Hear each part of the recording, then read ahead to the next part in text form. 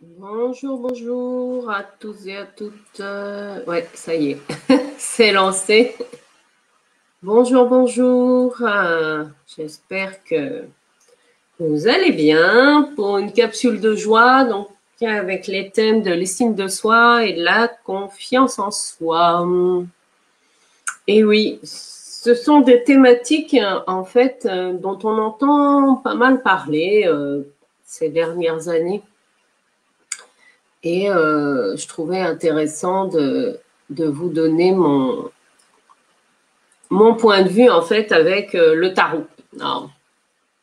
Et puis, il y a aussi une chose importante, c'est que euh, ben, l'une ne va pas sans l'autre. Et oui, entre l'estime de soi et la confiance en soi. Et comme je vous ai mis dans les définitions, hein, euh, ça vient aussi toucher euh, les signes de soi et la confiance en soi sont un des éléments en fait de, notre identité profonde et euh, voilà vont entre guillemets être sur les deux plans. Hein.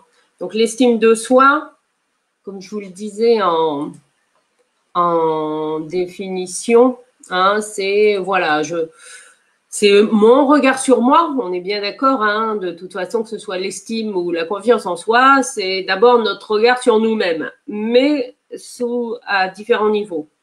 Donc l'estime de soi, c'est euh, je suis valable, enfin, je suis valable, euh, j'ai de la valeur, voilà, c'est dans ce sens-là. Et dans le tarot, en tout cas, il y a une carte qui représente cette notion-là, qui va peut-être vous parler, c'est le chariot, hein, la 7 avec ce côté aussi, euh, il y a derrière la notion de légitimité. Hum. Et oui. Est-ce que je mérite? Hum. il, y a, il, y a, aussi cette notion-là. Est-ce que je le vaux bien? Hein euh, C'est vraiment quelque chose qui touche au, euh, au noyau. Voilà. Est-ce que j'ai suffisamment de valeur. Hein, euh, c'est vrai que le coiffeur euh, L'Oréal, parce que je le vaux bien, a, touché en fait. Euh, alors c'est peut-être fait, comment dire, volontairement, hein, puisqu'il s'agit d'une publicité pour embellir les femmes, hein, avec les cheveux, etc. Parce que je le vaux bien. Et oui, et ben c'est ça en fait. La 7, dans le tarot, hein, le, le chariot, eh résume cette notion parce que je le vaux bien. Et oui. Sauf que tout se passe pas toujours comme euh, on le souhaite hein, dans notre vie. Et que, eh bien, souvent, eh il y a des événements qui se passent, que l'on vit, et qui vont nous faire croire que, eh ben non, que nous ne sommes pas dignes, hein, euh, que nous ne sommes pas dignes euh, d'aimer ou d'être aimés, ou que nous ne sommes pas dignes euh, d'avoir euh, un certain niveau de connaissance, etc. Et tout ça bah, va se forger, notre personnalité, tout ça va se forger bien dans les, euh, dans les deux premières années. Hein, oui, notre vie. Alors, après, bien sûr, quand vous êtes des adultes, c'est vous qui m'écoutez. ça ne veut pas dire que votre vie est foutue, hein, même si vous avez passé l'âge de deux ans c'est pas ça, mais c'est tout simplement pour vous expliquer que dans le processus de maturation psycho-émotionnelle, c'est euh, un an avant la conception, voilà, jusqu'au euh, jusqu'à l'apprentissage du langage, qui va poser les fondations en fait des mécanismes de l'estime de soi, de notre confiance en soi, de notre relation aux autres, etc. Et puis ensuite, eh bien, nous allons vivre différentes expériences. Hein. Alors, il y a aussi une autre étape clé, donc il y a l'éducation, bien sûr, il y a aussi bah, le premier creuset, c'est d'abord dans le ventre de la mère. Hein. C'est d'abord le premier espace dans lequel euh, nous avons tous grandi. Eh bien, oui. Donc ça, c'est un premier espace euh, dans lequel l'estime de soi et la confiance en soi va se construire. Eh bien oui. Alors ça peut vous surprendre, euh, sauf que ça a été démontré hein, scientifiquement que l'enfant qui grandit dans le ventre de la mère, eh bien, il, il capte également toutes les émotions, tout ce que la maman va ressentir. Ah, et oui. Donc, selon aussi la maman qui porte ce bébé, ben, comment elle en est, elle, avec son estime de soi et sa confiance en elle, plus bien sûr, il hein, faut pas oublier que l'enfant a aussi 50% des gènes du père biologique. Hein. Donc ça fait un amalgame, tout ça, qui, qui peut aussi s'exprimer différemment avec une même fratrie, hein, même avec des jumeaux. On va avoir deux personnalités différentes et heureusement. Hein. Donc ça, c'est un premier point. Donc le premier creuset, c'est dans l'utérus. Voilà, l'utérus de la mère. Ensuite, il y a euh, la cellule familiale, hein, euh, que ce soit les parents d'origine ou pas, euh, peu importe, ou des adultes qui prennent le relais.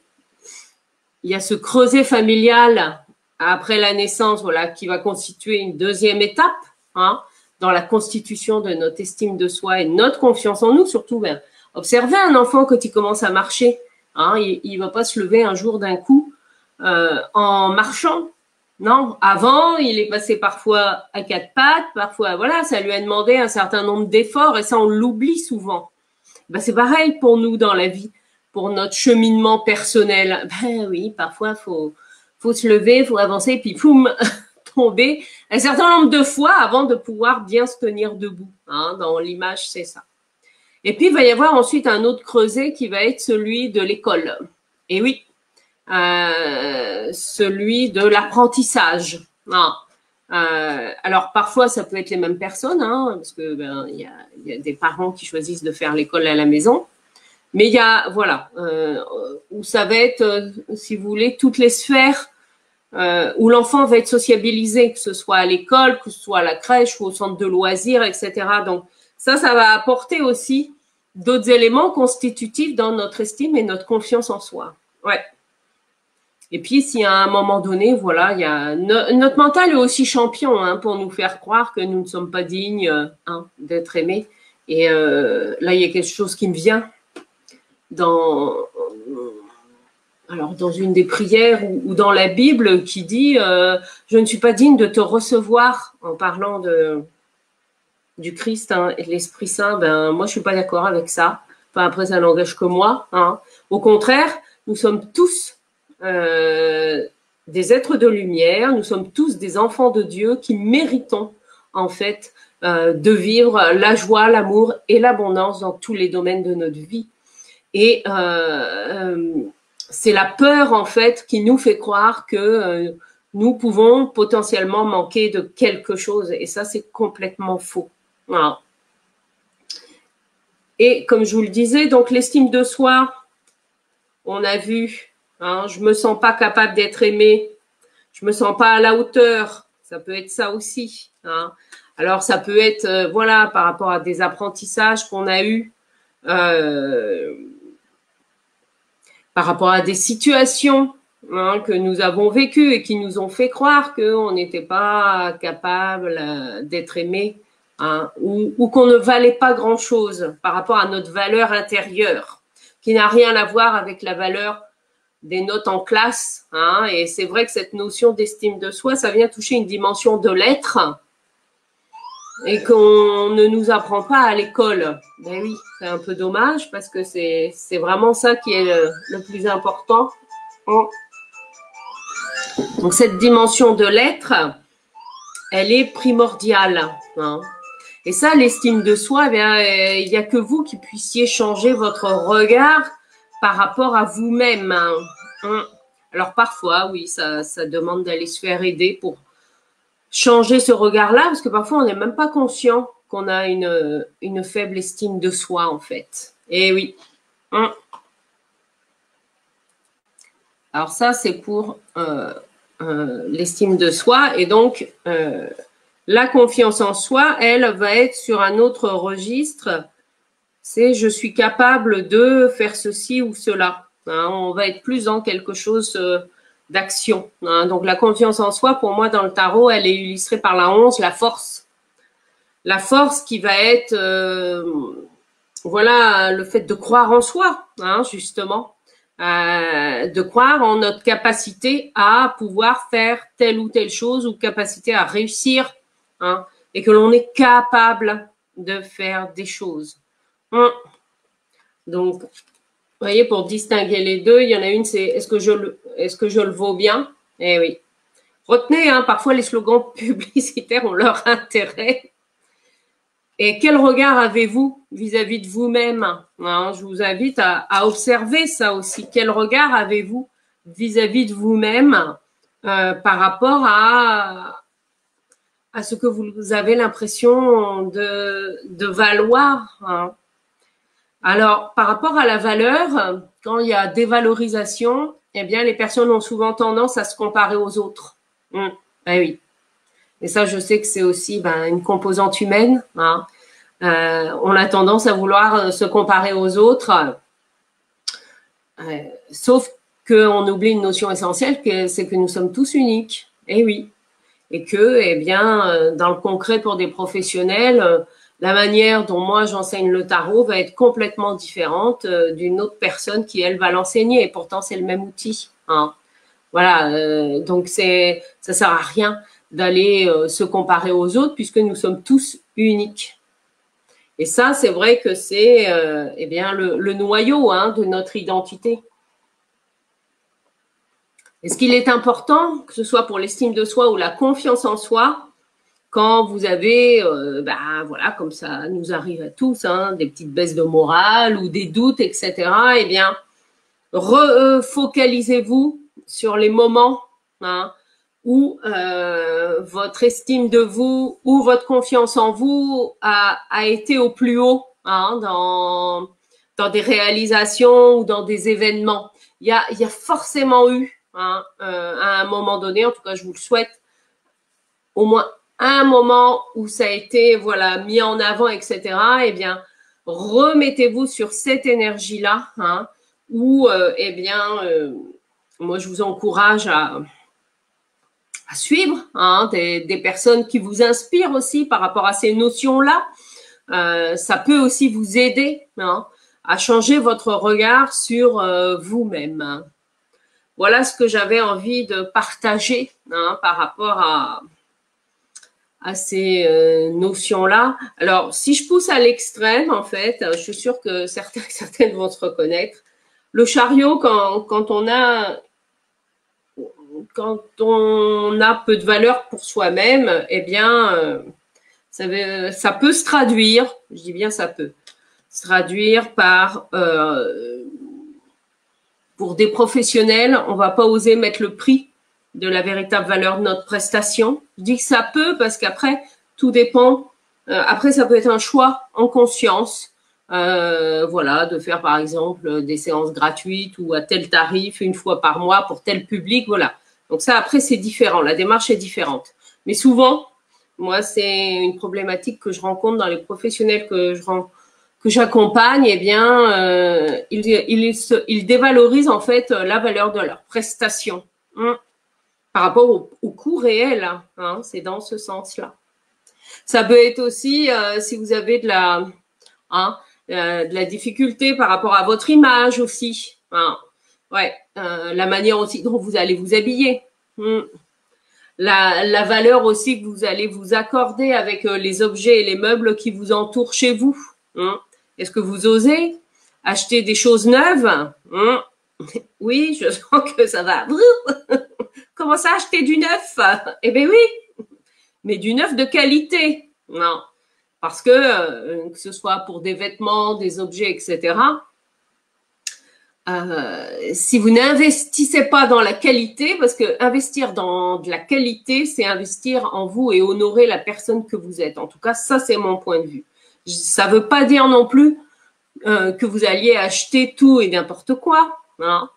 Par contre, la vibration ne va pas être la même, que ce soit même comment dire, pour des vêtements ou des objets qui vous entourent, c'est aussi une manière de vous honorer et d'honorer la personne que vous êtes, oui, parce que vous le valez bien. Hmm.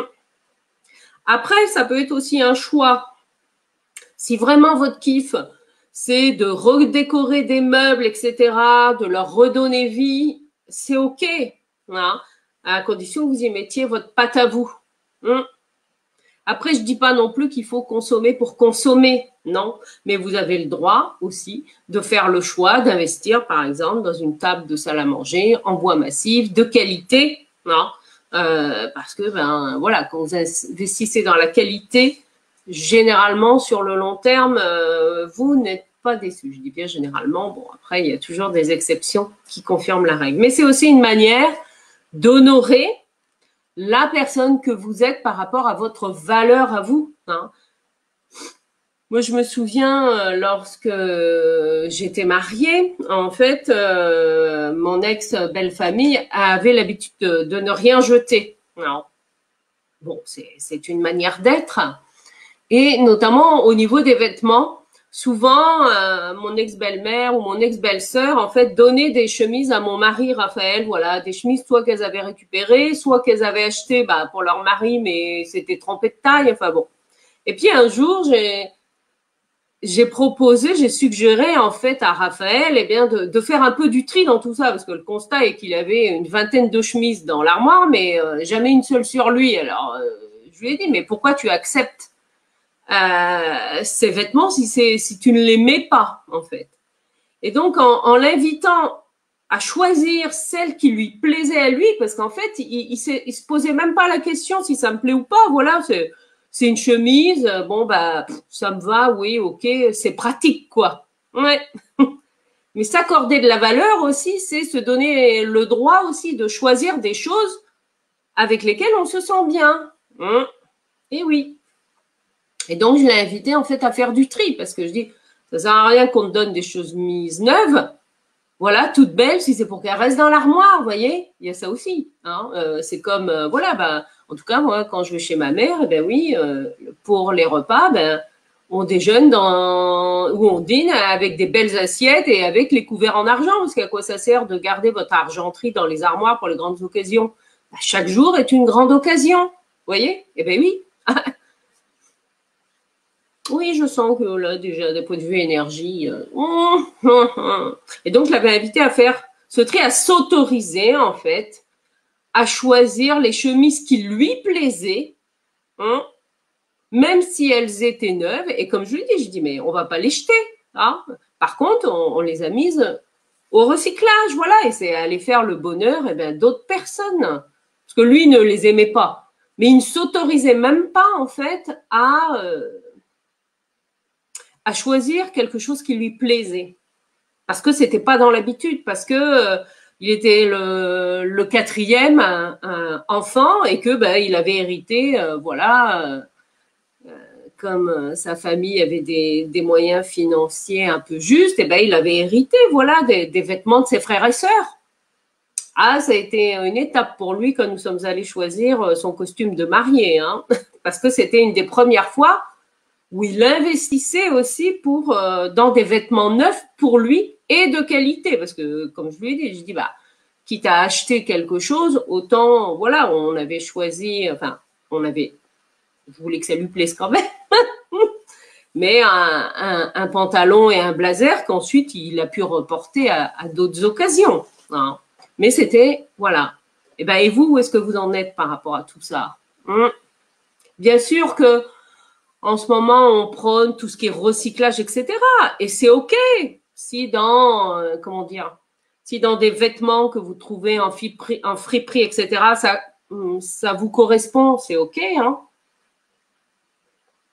Mais néanmoins, moi, je vous invite quand même à aller faire l'expérience, surtout si ça n'est pas dans vos habitudes, eh ben, d'investir en vous, que ce soit pour un vêtement ou pour un objet, à travers quelque chose de neuf et qui vous met vraiment le cœur en joie à l'idée de le porter ou de l'avoir chez vous.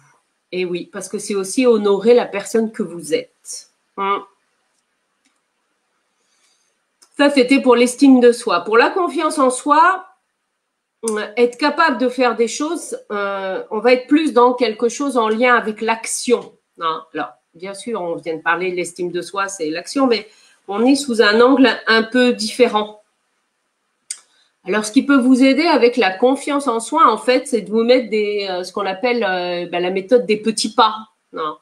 C'est on avance un pas après l'autre, vous fixez votre objectif final et puis vous avancez pas à pas vers cet objectif-là. Et chaque jour, vous faites un pas vers ça. Vous voyez, c'est en vous mettant, c'est la, méthode des petits pas ou l'effet cumulé, comme vous voulez, euh, peu importe, l'effet va le même parce qu'à un moment donné, ça va porter ses fruits à condition de rien lâcher. Et oui, hein, la confiance en soi ou en l'univers, c'est aussi ça. Hein, c'est euh, on ne lâche rien. Et oui, comme euh, la force hein, qui, qui a son focus et qui tient la gueule du chien. On ne lâche rien et on avance. Et on avance pas à pas. Et si je dois tomber dix fois, eh ben je me relève dix fois et je continue d'avancer. Hein, c'est ça en fait. Donc avec la méthode des petits pas, voilà, surtout si c'est pour aller vers des gros changements dans votre vie, eh bien, allez-y pas à pas. Faites cette méthode de petits pas. Hein, et vous allez de toute façon apprendre et réajuster au fur et à mesure. Mais oui, mais c'est ça aussi la vie. Hein. Donc voilà ce que j'avais envie de partager avec vous ce matin dans cette capsule de joie sur cette thématique-là. Et puis ben après, si vous voulez aller plus loin, hein, euh, eh bien j'anime prochainement deux ateliers en présentiel sur cette thématique-là, hein, euh, qui est de booster sa confiance en soi pour une rentrée dynamique. Il y en a un que j'anime ben, samedi après-midi de 16h à 18h à Cherbourg, au cabinet Positivement Vote de Pascal Dufour samedi 19 septembre, et puis euh, un autre le jeudi 24 septembre, la semaine prochaine à Saint-Brieuc, chez Cocotte et Moustache, de 14h30 à 16h30. Voilà. Donc je vous mets toutes les infos, le lien vers mon site internet où il y a toutes les infos hein, pour vous inscrire euh, si vous souhaitez aller plus loin. Voilà. Ben écoutez, j'espère que ça vous aura interpellé. N'hésitez pas à partager en commentaire euh, eh bien voilà, euh, où vous en êtes de votre estime de vous et de votre confiance en vous. Et je vous souhaite une très belle journée. À bientôt.